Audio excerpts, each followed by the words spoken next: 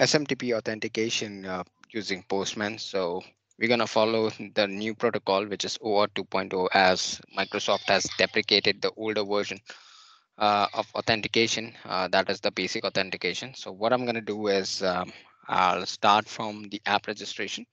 So here I am on portal.azure.com and um, I'm inside the Azure Active Directory. I'll be going ahead and creating a new app registration.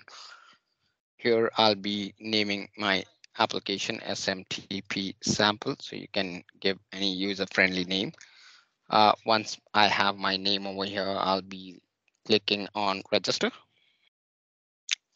All right, so our application has now has been registered on Azure AD. Uh, what I have to do is I'll have to go to the API permission section I click on add, select Microsoft Graph, delegated permission, and here you need to type in SMTP. Yeah, so here you go. I've added the permission. Okay, so smtp.send.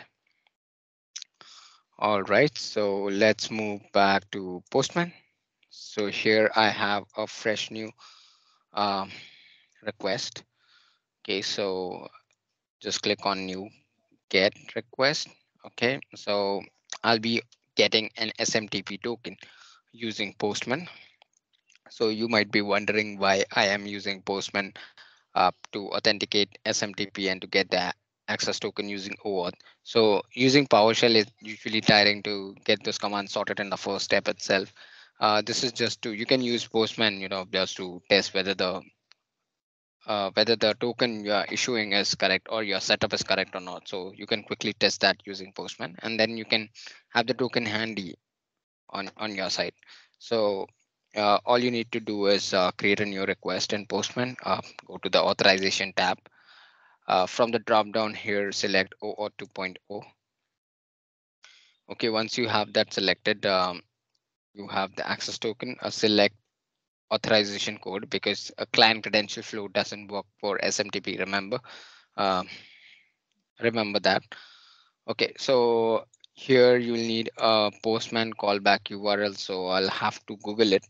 Uh, let me postman callback URL. Let me Google that real quick.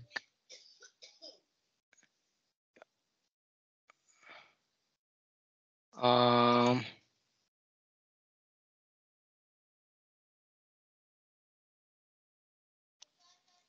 so the postman callback URL is what I need to find.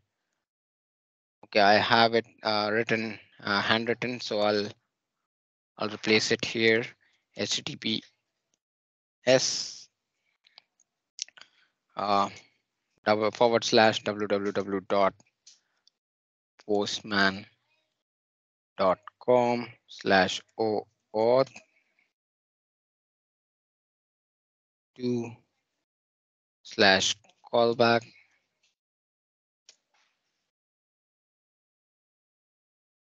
so it is postman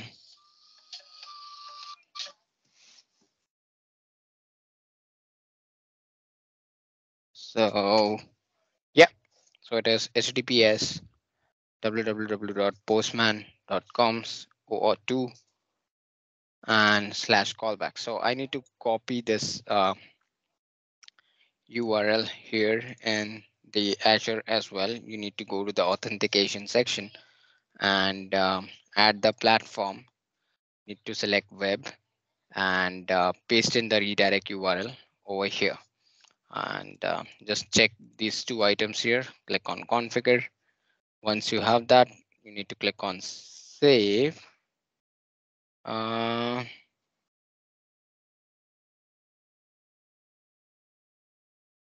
okay, so I guess uh, this is enabled. Now uh, we need few other details. Uh, this is OAuth 2.0. Uh, I need uh, the tenant ID authorization endpoint. Uh, so I'll click on copy to the clipboard then I'll need the access token endpoint. Paste it over here. Then I'll need a client ID. Uh, you can get the client ID over here, uh, client ID, and then I'll need a client secret. So for secrets, uh, I'll have to create a new certificate client secret over here. So I'll click this sample, click on add. Uh, you need to copy the value part and not the ID part. OK, uh, you need to copy the value part. I'll be replacing the value part over here. And now we are get ready to uh, go. Before that, uh, I need to change the scope.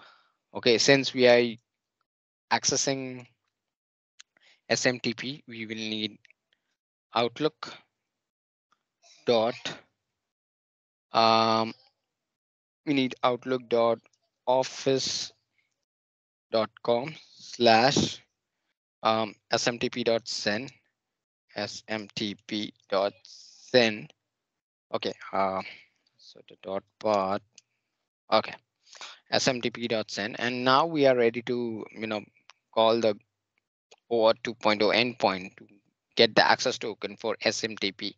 Uh, click on get access token. Uh, I'll need to sign in. So I'll put in my sandbox account.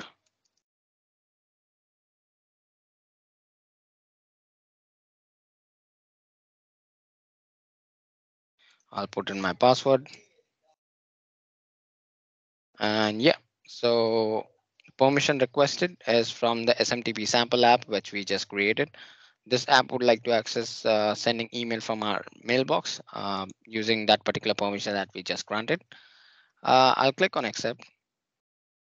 And here we go. We got the access token. I can click on use the token. Okay, I'll copy this. And now you can use this token to, you know, um, do the SMTP functions that you intended to do. So I'll just decode the token and show you the claims. So here's the name of the app that has been displayed. And apart from that, uh, here the scope smtp.send, uh, which we just granted in our app. Um, so if I go to the API section, you can find that.